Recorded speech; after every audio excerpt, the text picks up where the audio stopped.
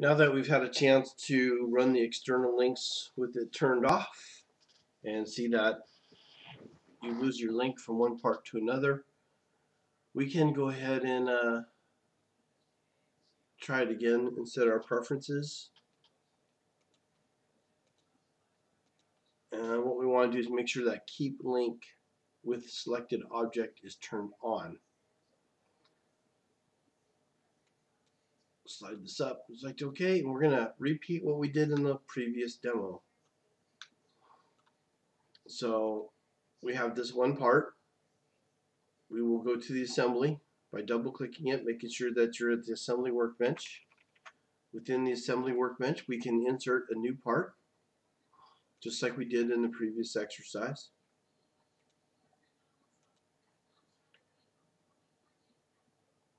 We're going to go to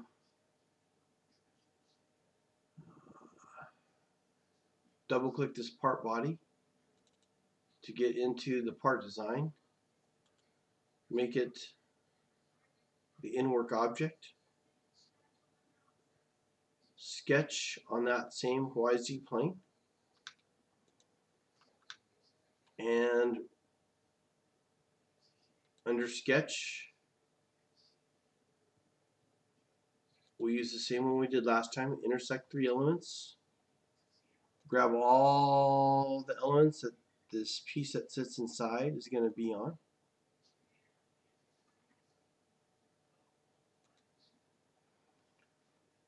Select OK. I'm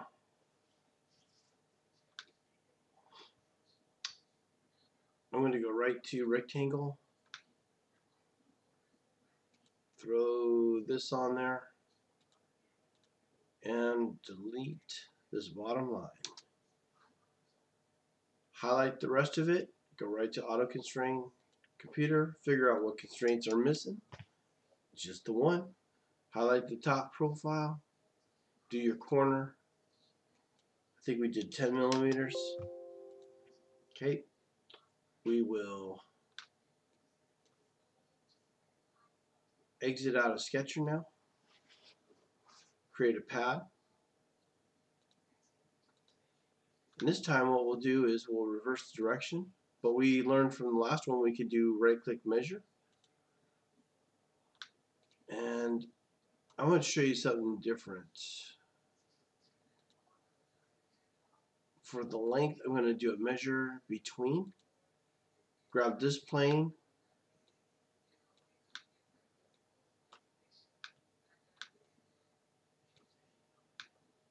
And this plane there's my distance of 150. Select OK. Select OK. It created that part. That same size. And let's see if this works this time. We'll go back to sketch number one. Select the pad. Change that to 200 bottom piece does not get affected. Let's go to the top collector of the assembly. We should be able to update. Oh no.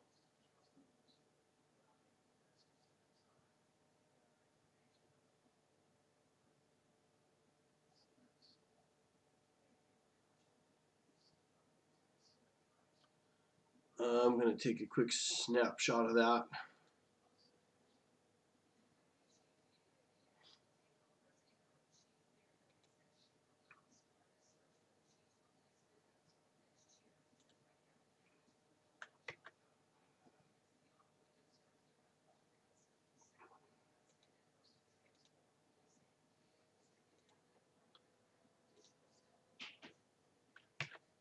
Okay, I'm just gonna ignore that and hit close and see. I don't see any errors causing me issues, but it did update. And then we are gonna go to the bottom view sketch actually. So we'll go back into that. Let's change the numbers around like we did last time. And if we did it work, did it right this time, this gap is automatically going to be filled. So when we exit out, we need to go into the assembly and hit update. And that part's all good. That worked because I had external links on. That's what made that active. Uh, wanted to try one other thing forgot what I wanted to try already.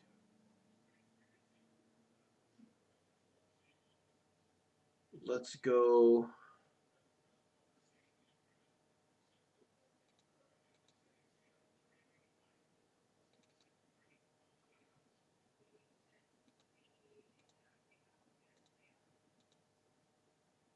From the assembly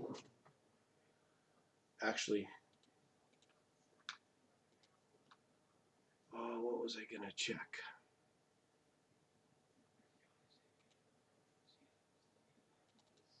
Let's check that sketch one more time. Change that to 25 change this to 15 exit out.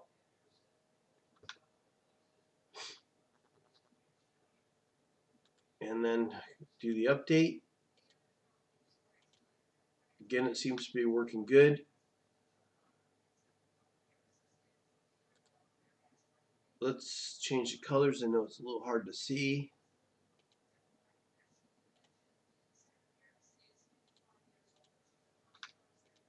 Okay, so I'm going to try and set my preferences.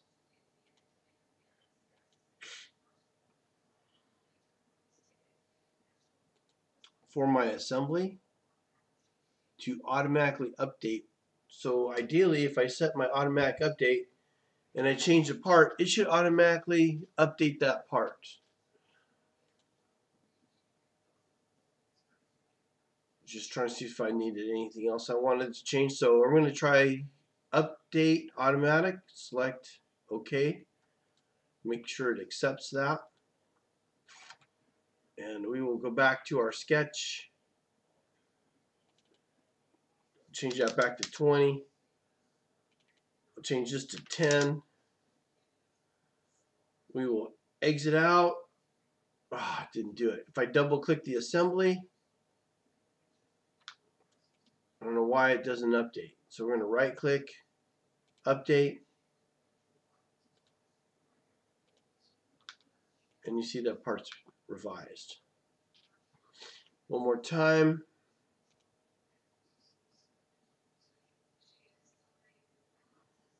Uh, let's change the length, whoops, length of this pad to 100. Make the assembly active and update it.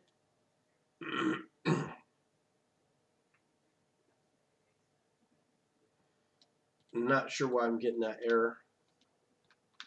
But you can see everything is linked and uh, one part follows the other. So in theory, in the real world, if you make one part and you're linking everything else, when you go to change that other part, all the other parts that you have linked to it will be an automatic fix. If this part were machined, that would automatically change the tool path. If there were a tool fixture holding this thing together, it would automatically adjust the tool fixture if there were a drawing created of both these, these parts or however many parts you had, you would have to just update the drawing and the dimensions would automatically be fixed to match the new part. And that is how we should be using a CAD, not breaking everything up making it all individual and trying to remember which one you changed and if you changed all the other linking parts. One part should change the next. Now for your challenge, apply parameter where they could pick a parameter off the list, key in a length, and it would automatically fix the length. And any anybody that didn't know CATIA would just know that you can edit the parameter and automatically make it whatever length they want. That's your next challenge.